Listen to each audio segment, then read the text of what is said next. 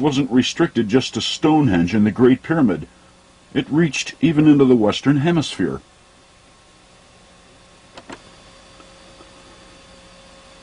Zero point one five nine one five four nine is less than zero, an inverted quantity.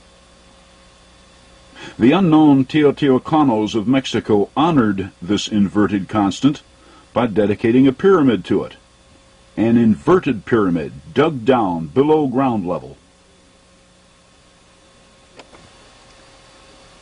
Here you are standing right in the middle of it. At matrix vector 9.118965.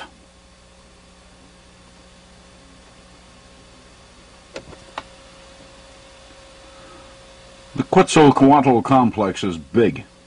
If you'd like to take a hike around it, be sure to bring a lunch. It has a perimeter of a mile. The largest inverted prehistoric monument ever found.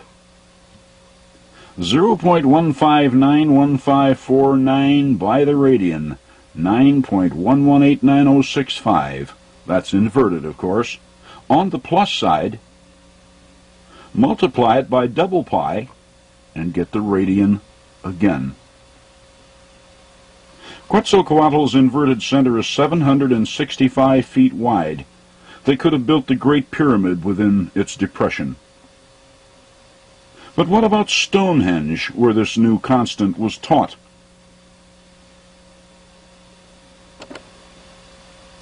Try it against the 48.669 foot radius of Stonehenge and find the square root of 60. Now we know why they encoded the square roots here.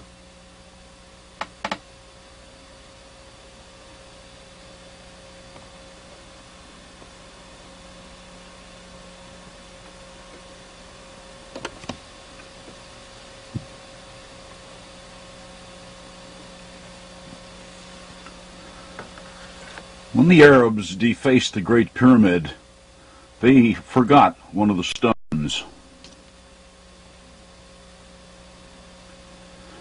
When we found it, it was promptly shipped off to England, where its sloped surface was subjected to some of the finest instruments we have.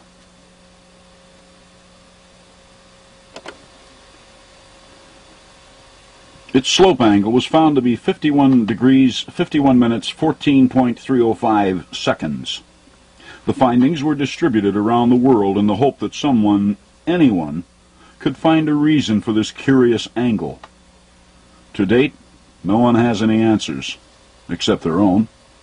It's the price we pay for believing that the builders were ignorant.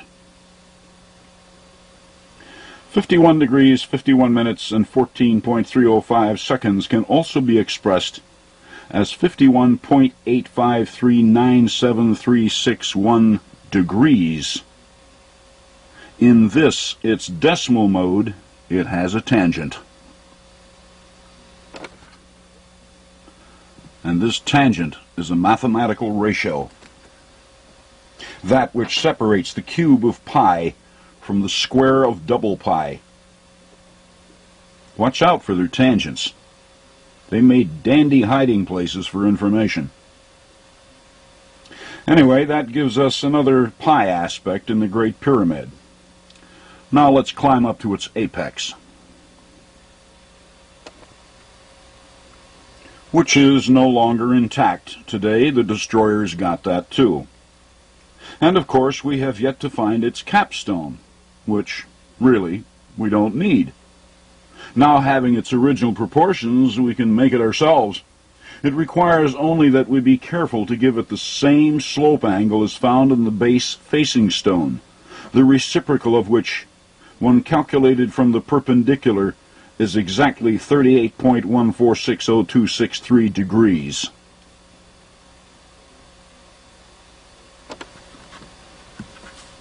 The tangent of which is 0.785398175, which, when then multiplied by the four sides of this pyramid, well, is there anyone who doesn't know what that is? And right off the very top of the monument.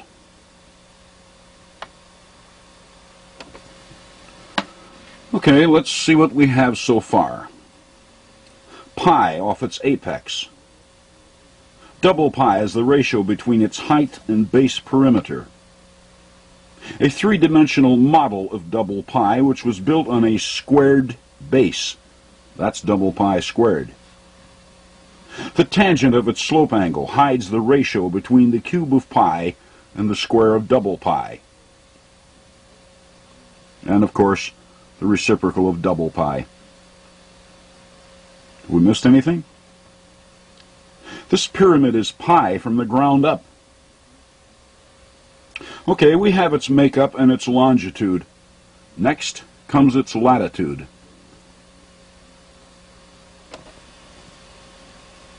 A pyramid which marks the location of a prime meridian running north and south from pole to pole should likewise address latitude, should it not?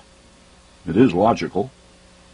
And all latitude is reckoned from the equator, which, as it circumscribes the earth, has a length. The equatorial circumference of the earth, 24,901.54558 statute miles.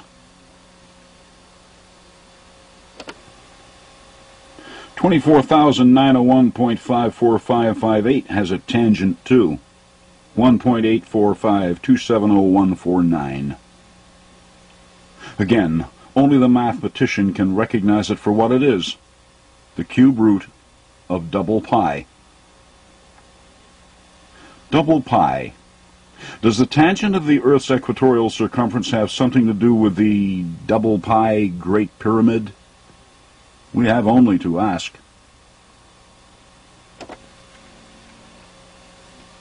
Visualize the Great Pyramid in your mind. Four sides, four base corners, and an apex. Nine features. Raise this tangent, this cube root, to its ninth power, and we find the cube of double pi. Of course, all that does is prove the cube of double pi. If it has anything to offer to the matrix, we must test it against something that is in the matrix like the Great Pyramid, since we did employ its nine features. The Great Pyramid's longitude was 360 degrees. What might 360 have to say to the cube of double pi? It yields this figure, which encodes a parallel of latitude which runs right across the north face of the Great Pyramid. At this point on the pyramid, then, the matrix holds a vector at the cube of double pi. Why doesn't this parallel cross the actual apex? It wasn't supposed to. That point was reserved for something else, a link with astronomy. Are we ready to admit that they knew astronomy? I am. And the most elementary constant in astronomy, or even in its predecessor astrology, is the 25,920 year precession of the equinoxes.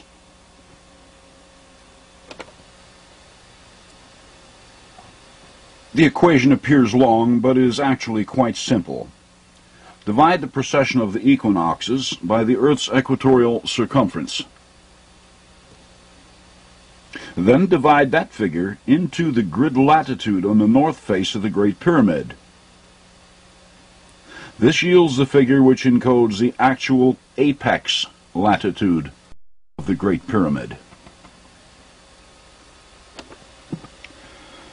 29 degrees, 58 minutes, 51.00 seconds north, dead center on the apex.